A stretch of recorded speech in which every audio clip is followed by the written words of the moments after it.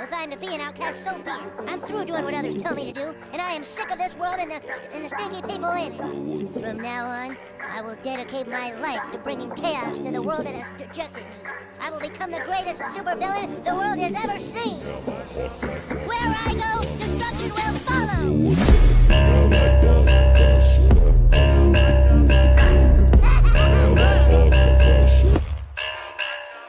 follow.